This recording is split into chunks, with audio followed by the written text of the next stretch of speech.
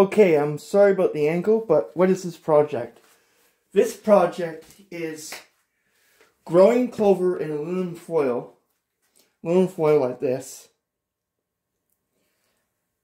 Or maybe it's a bit hard to see, but that's clover under control. And it's under a light, and the light, each of these lights are grow lights, but they're different setting, different types of grow lights. This grow light is 7, 11, 7, 7, 11. That's a total that's not a lot of power that's being given off. But what I'm trying to do is observe radioactive samples. I have this radiation meter. Well, I, yeah, I'm going to test just a little bit of it to, to show you what the reading is in between just these two, because everyone I know, they're the most potent radioactive samples I have.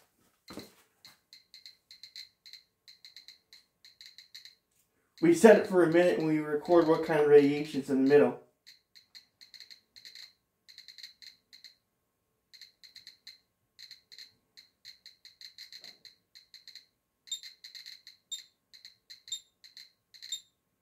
Twenty seconds needs to go to a minute. It's already at 155 counts per minute, one microsievert. It'll go up to quite a high level in a minute. It's difficult to get. I gotta hold it like this.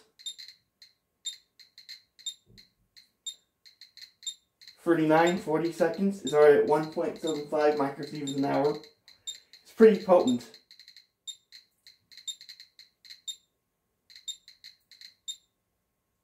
Two point one, two point two, and three forty five microsieverts an hour.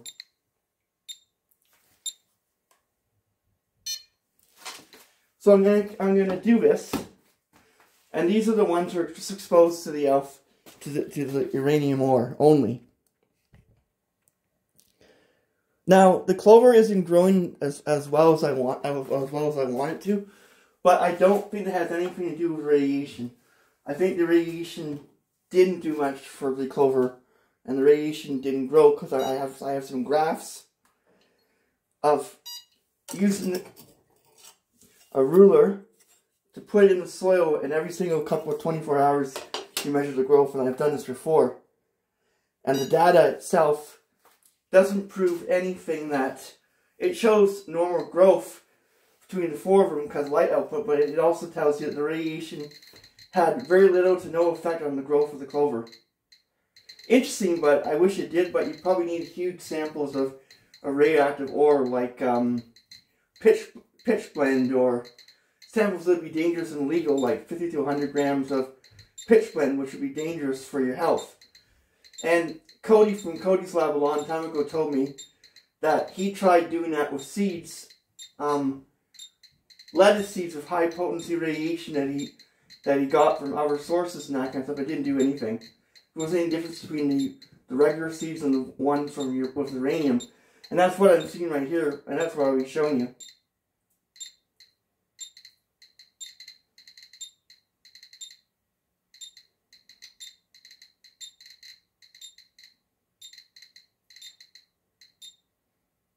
About 2 microsieverts an hour, 322. It always changes just a little bit each time you do it.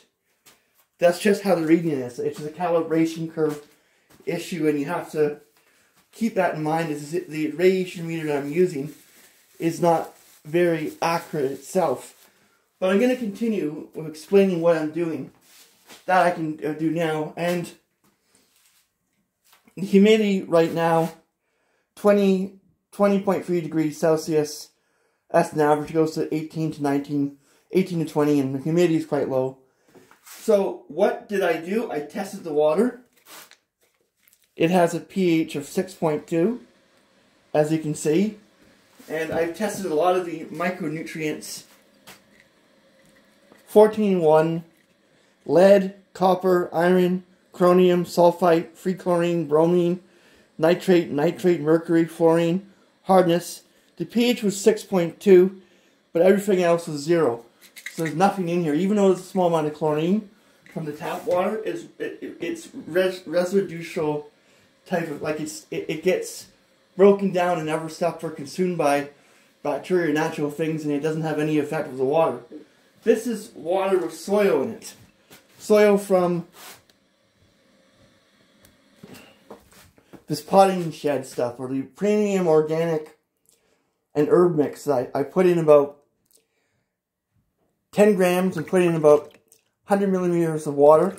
Let it, let it, I shook it for a while when I tested it. I used, I used what is very important, universal indicator, in, indicator from a chemistry kit to determine what the pH of the, of the soil and water is because the pH of the water is slightly acidic and this uses, it, this has nitrogen but it also has compounds that are alkalinic. So when you when you mix the soil,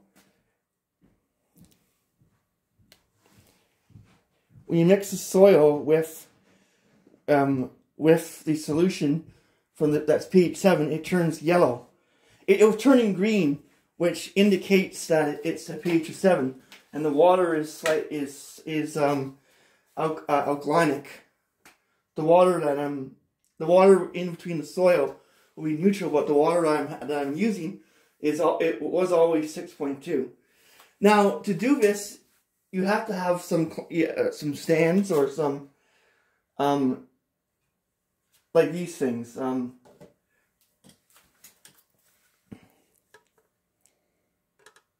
um, what are they? They're um, jack stands, what they're called. Because that way you can move it up and down and, and, and stabilize the light. And that's what I've been doing. I had to buy a few more. Now, you also need, very important, one of these electric timers. It's set for 12 hours on, 12 hours off. Now, the last thing I'm going to show you is the graphs and data and some things that you should be aware of if you're going to, if you're going to repeat this. I don't recommend it because it didn't have good results, but it did have some results going into Excel. Maybe I'll turn off these lights so it's better for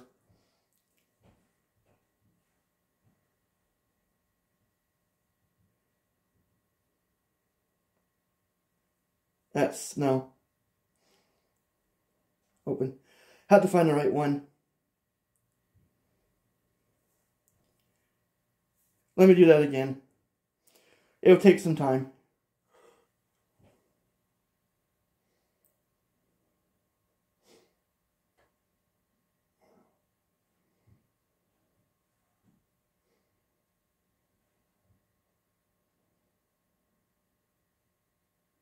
Oh, here we go. Here's the right right right plot.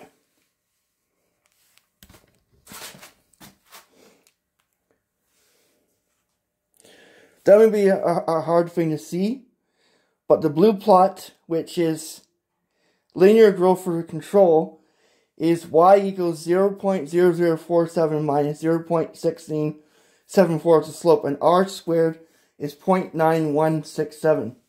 This is hard to see but I will be trying to show it. That light cannot be turned off, so I can't do anything about that, but I can show the, um,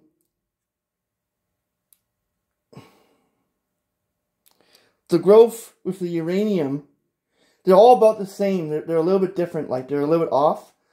Not, but their their R squared value is very similar, and and and the and the data, as you can see here, is similar, but it doesn't really tell you much, except that the radiation itself is did not have an effect on the clover because you would have seen a major difference in the in in those two data points. And for that, it's the y value is 0.0051x minus 0.1509, and the r squared value is 0.9367. There's a few more other ones like the um, the thorium plus the uranium has a slope value of 0 0.01, 0 0.051 minus 0 0.15, and it's very similar to the other one. Like, it's just, as you can see, with the two plots, they are very similar. I'm not that really, I don't know a lot. Like, I have some, Excel is not my best best tool to use. I always had trouble with Excel, but I can understand what graphs are about. Now I'm gonna, before I finish this, it's a 10 minute video, but I'm gonna show um, Word and I'm gonna show some safety uh, about what to do in case the uranium ore basically breaks off. And you might need a UV light or something like that to determine fluorescent material to be safe and you should wear a mask and gloves.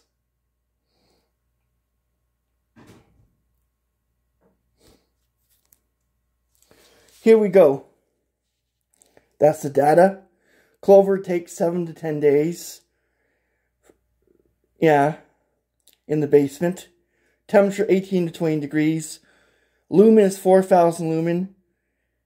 Well, I, I go on about the urea, the nitrogen sources, but urea, monomethylurea, or ammonium phosphate, I have no idea what, what it is. It could be just nitrogen fertilizer, which they use uh, natural fungus that fix it, check the nitrogen cycle, which converts it into into nitrogen oxides and that kind of stuff, which then gets broken down into nitrogen, so you'd have that in the soil. This is what, as you can see, for radioactive sources for four days, this is how much radiation you're getting in gamma. The rad source of the control is still being affected by the uranium ore. so it's... Can you see that? And then we have that for uranium ore. We have uranium thorium, and then we have the um, uranium pottery soil. Uranium pottery with the soil. It's the lowest output of radiation because that is not a very potent source. And and the aluminum pan kind of reflects, absorbs a lot of radiation. Now, what you have to be what you have to be aware of if you're dealing with radioactive ore, which is very critical because you can get radiation or radioactive particles in your lung and get cancer that way. Now, you need gloves. Gloves and shielding. Always wear gloves when, when working with radioactive material. Even if it's in an ore like this. Even if it's like in this clamp. As I said here, if it falls or cracks, that you get tons of uranium ore. That's why this is kind of dangerous. And always wear a dust mask, at least, to protect yourself from the dust.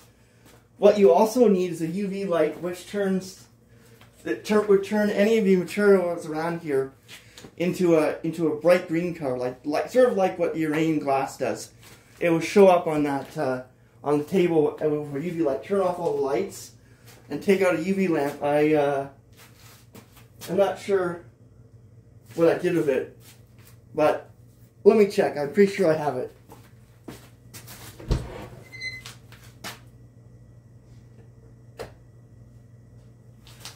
No, I misplaced that. But it doesn't really matter because it, I'm telling you that it is, it will, it will make the table under the UV light if there is any issue green, green powder. And if you have that, then it's a contamination. And so it's, it's concerning, then you'd have to call the city or have the equivalent to nuclear regulatory people come in and labs. Like if you had a lot of uranium dust spread, spread like if, if this would fall and, and release uranium dust, your, the main problem is radon, radium, and uranium dust is sticky and accumulates up in the atmosphere, in the area around it. So always be extremely, extremely careful with dealing with radioactive ore. Normally, under normal circumstances, the radioactive ore is protective, protected and won't do anything. But if it drops and on the floor or that, or if it, if it breaks as an ore sample, and you get dust and you inhale that, it just take a speck of that to give you lung cancer. You could have like a a 60 or 70% chance of dying of lung cancer. But normally under these circumstances, this is the radioactive ore. And it's already starting to crack because I used the clamp. But without that, I would never be able to do this. Keep that in mind when doing that, that this kind of damages the ore itself.